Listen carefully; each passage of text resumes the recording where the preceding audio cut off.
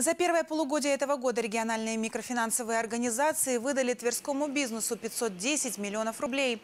Это почти в два раза больше, чем в аналогичном периоде прошлого года. Основной объем выдачи пришелся на предприятия региона. Они получили свыше 320 миллионов рублей. Без малого 190 миллионов заняли индивидуальные предприниматели. Средний размер кредита для ИП составил 2 миллиона 100 тысяч рублей, для юридических лиц – 2,5.